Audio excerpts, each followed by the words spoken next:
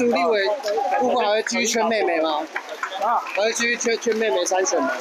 一边是责任，一边是亲情，我还要再想一想。民众党总统参选人柯文哲月初殷殷期盼妹妹柯美兰参选新竹立委，柯美兰当时没把话说死。同样问题现在再问柯文哲，怎么问都不回答，难道是有变数吗？我想检察官就已经认定就是要起诉我贪污。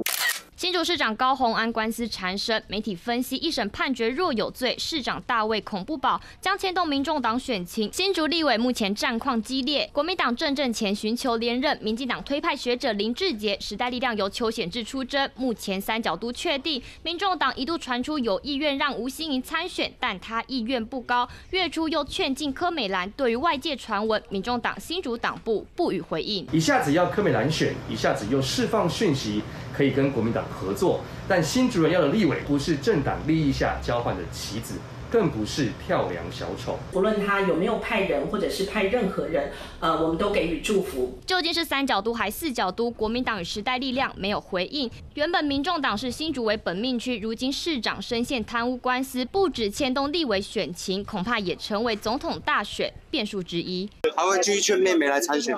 谢谢，谢谢。再见了。会不会高文师会影响？参选正好李院李佩贤新竹花莲采访报道。